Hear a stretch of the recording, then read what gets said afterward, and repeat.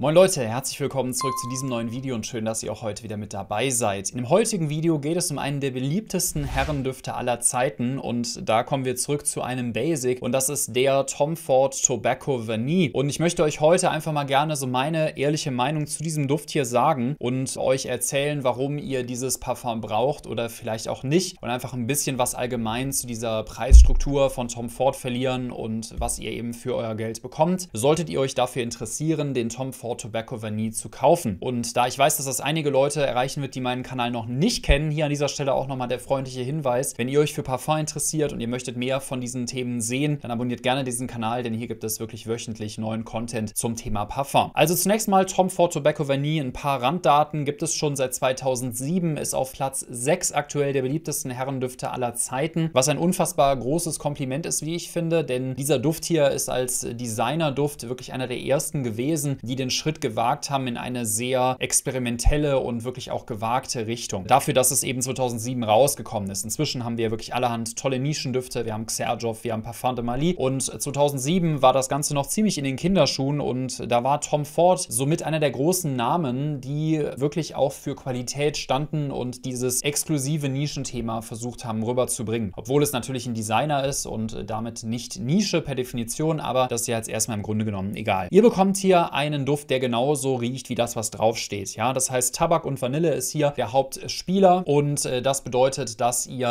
einen Duft habt, der auf der einen Seite eine ganz leichte Süße hat, aber nicht zu viel, denn mit Vanille verbinden alle eigentlich immer Süße, aber es ist eigentlich eher so eine holzige Note. Und auf der anderen Seite hast du diesen Tabak. Das heißt, du hast einen Duft, der auf der einen Seite eine gewisse Süße hat, hauptsächlich durch den Tabak, weil Tabak an sich eine gewisse Süße mitbringt. Vanille auch, aber du hast eben vor allen Dingen diesen Tabak und dieses sehr elegante und samtige, was die Vanille dann eben beisteuert. Das heißt, leicht holzige Noten, die vielleicht auch so einen cremigen, samtigen Charakter haben von der Vanille, plus dann eben die Süße von dem Tabakblatt und diesen charakteristischen Tabakakkord, den man in so vielen Düften, wie zum Beispiel auch Naxos von Xerjoff, findet. Was für mich hier außerdem noch eine große Rolle spielt, ist das Thema Kakao. Zu meiner Überraschung war das auch in den Duftnoten gelistet, aber ich finde, dass vor allen Dingen in diesem Opening, also am Anfang, in den ersten paar Minuten, der Duft sehr deutlich nach Kakao riecht und einen wirklich schönen, dunklen, kakaoartigen Einschlag Geschmack hat. Das heißt eben Tabak und Vanille und am Anfang hast du hauptsächlich noch ein bisschen Kakao mit dabei, was das Ganze in eine sehr dunkle Richtung zieht. Ich finde den Duft nicht sehr süß, verglichen mit vielen Klonen, die es davon gibt, wozu ich gleich auch noch ein bisschen was zu sagen möchte, wenn es darum geht, ob sich der Kauf von diesem Duft auch heute noch lohnt. Aber es ist eben ein relativ unsüßer Duft, wie ich finde, verglichen mit anderen Düften, die deutlich süßer werden können. Und der lebt wirklich vor allen Dingen von diesem Tabak und Vanille und viel mehr ist da eigentlich auch nicht drin. Was das Parfum aber besonders macht, ist meiner Ansicht nach seine grandiose und starke Performance, denn nicht nur hält es sehr lange auf der Haut, 12, 14, 16 Stunden sind da keine Seltenheit, sondern es hat auch eine extreme Strahlkraft. Das heißt, jedes Mal, wenn man diesen Duft trägt, und das reicht auch, wenn du es nur am Handgelenk hast, riechst du den wirklich die ganze Zeit und der ist wirklich raumfüllend und intensiv. Das heißt, wirklich ein tolles Parfum für die kühlen Tage des Jahres, das heißt Herbst, Winter oder wenn du auch zum Beispiel rausgehst und wirklich auch darauf angewiesen bist, einen starken Duft zu tragen. Da ist Tobacco Vanille für mich wirklich immer noch ein sehr, sehr guter Begleiter. Warum immer noch? Naja, weil die DNA ehrlich gesagt ziemlich zeitlos ist und man hier auch etwas geschaffen hat, was diese ganzen Änderungen bei Tom Ford, also die ganzen neuen Düfte und hier wird ein Duft günstiger gemacht und irgendwie rausgenommen aus dem Sortiment. Tobacco Vanille hat das überlebt, weil es einer der Topseller ist und auch immer noch tatsächlich sehr gut funktioniert. Deshalb kann ich diesen Duft grundsätzlich auf jeden Fall empfehlen. Es gibt natürlich aber auch einige Klone, die man kennen sollte, denn ganz ehrlich, nicht jeder möchte 250 Euro für so ein Parfum ausgeben. Und auch diese Preiserhöhungen von Tom Ford sind nicht an Tobacco Vanille vorbeigegangen. Das heißt, dieser Duft hier ist auch deutlich teurer, als er es früher einmal war. Und das ist natürlich etwas, was sich nicht jeder leisten möchte. Das heißt, ja, es gibt Klone da draußen. Meiner Ansicht nach kommt aber nichts wirklich an diese Komplexität ran. Es kommt auch nichts an diese Unsüße der DNA dran, weil viele Klone einfach viel zu süß oder viel zu würzig sind. Und wer darauf aber verzichten kann und wem das nicht ganz so wichtig ist, dass es eins zu eins so riecht, der findet natürlich auch viele tolle Alternativen im